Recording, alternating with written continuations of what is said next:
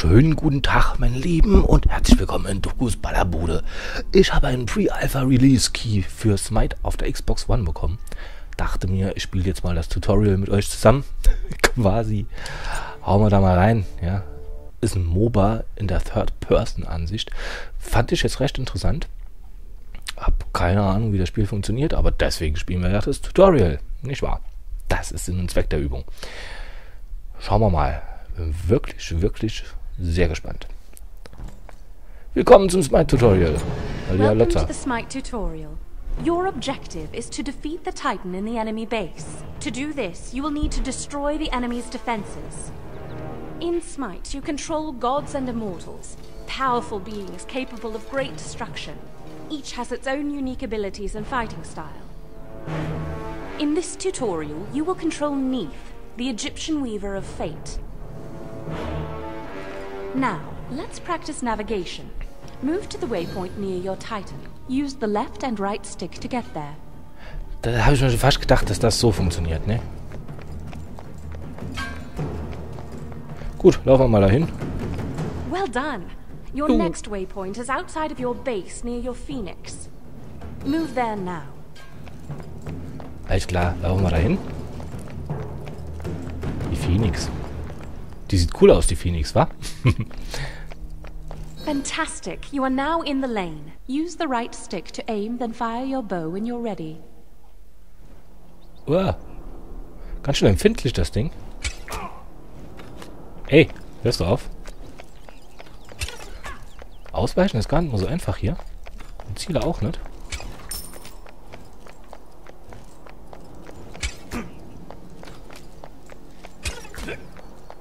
Impressive! Each time you slay an enemy or destroy an objective, you gain experience or XP. Gain enough XP and you will level up, allowing you to unlock abilities. Unlock Spirit Arrow, Neith's first ability. Gut, versuchen wir das. Äh, mit X? Oder? Ach nee, LB und X. Auch nicht?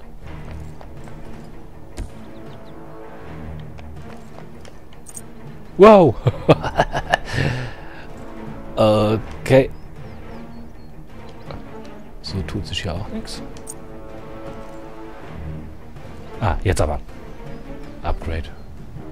Great. Now use the Spirit Arrow ability to attack the minions. Spirit Arrow is a line attack that can strike multiple enemies within its highlighted area. Use the targeter to help direct you when casting your abilities.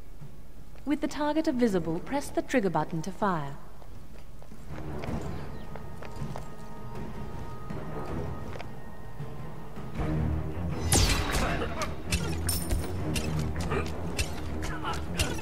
Fett.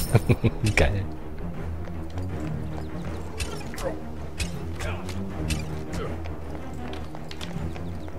Ausweichen ist hier echt... You've taken a lot of That's damage unmöglich. And need to replenish your health. Teleport back to the fountain now. Within the fountain, gods will rapidly gain health and restore their mana.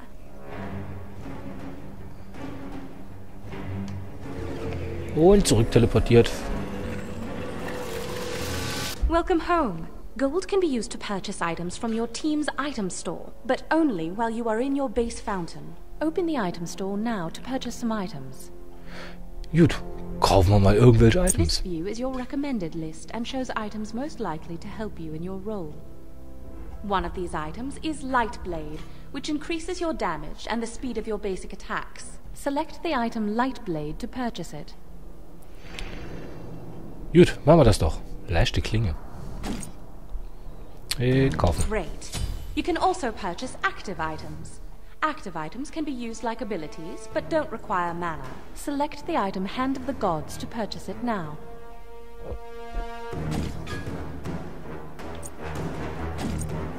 Finally, let's buy a consumable item.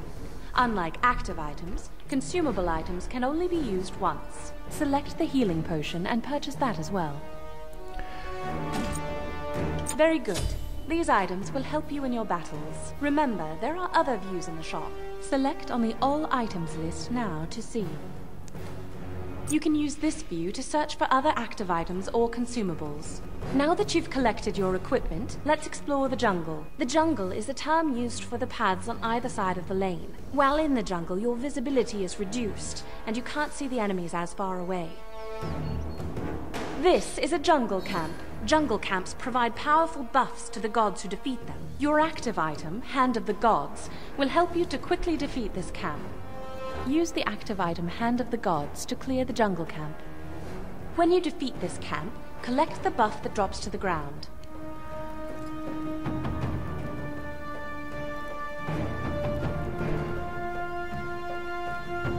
Ah, okay. Damn. Done. That buff will help you do a lot more damage. You've taken some damage. Use the consumable health potion now. Gut, wie mache ich das? Ach, da oben. LT und Y. Oh dear. It looks like one of your allies, Odin, is rushing the enemy tower. By attacking without support, Odin will surely fail. Be wary around towers, as they will come to the defense of friendly gods attacked under them. Time to join the fight. Your tower is under attack from enemy minions. Go there now and defeat them.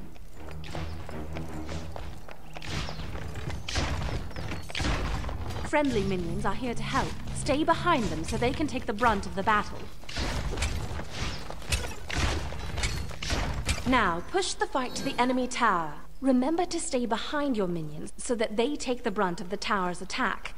If the tower targets you, fall back out of range.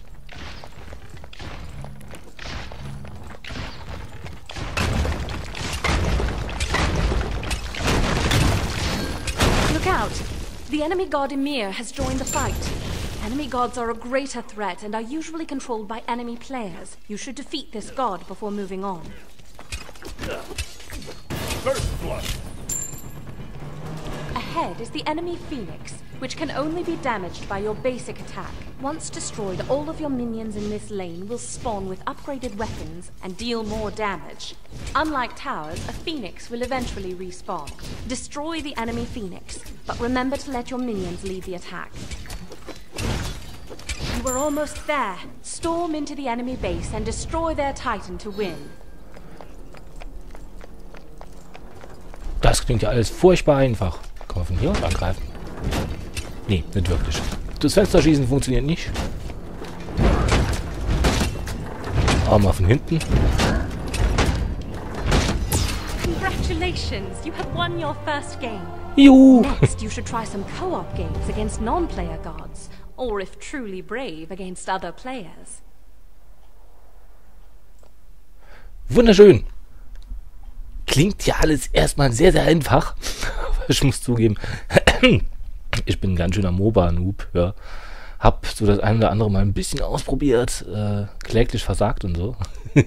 Wird hier vermutlich auch nicht viel anders sein. Aber äh, ich finde das Konzept mal ganz geil. Ja? Direkte Steuerung der Helden hier, der Heroes, der Gods in dem Fall. Finde ich, es ist ein interessantes Konzept. After each match, you will be presented with your rewards for battle. Äh, Honor is granted to you upon completion of your match.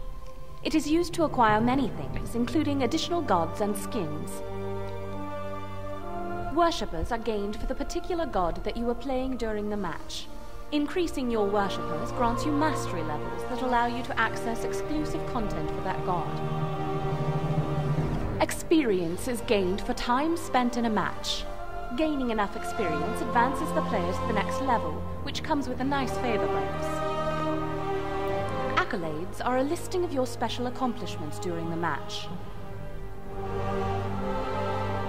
There are additional screens accessible from these buttons that will give you further details about your match. Pressing the home button returns you to the game lobby when you are ready to leave your match. Schön, ja, okay. Eine Rundenzusammenfassung muss natürlich auch sein. Auch gut, dass man hier Fortschritte erzielen kann, äh, die sich über Spiele hinweg ziehen, sozusagen. Da die übliche Statistik, KD von 1,0, fantastisch war. Super. Gut, und hier kann man noch ein kleines bisschen sich was anschauen, äh, was er so alles gemacht hat. Schön, schön. Soweit so gut. Also, erster Eindruck ist mal nicht so schlecht. Finde ich ganz interessant. Ich werde das jetzt noch ein bisschen weiter ausprobieren. Wollte euch jetzt fürs Erste einfach mal kurz dieses Tutorial zeigen. Ja, gut. Weitere Videos folgen. Macht's gut. Bis dann. Tschüss.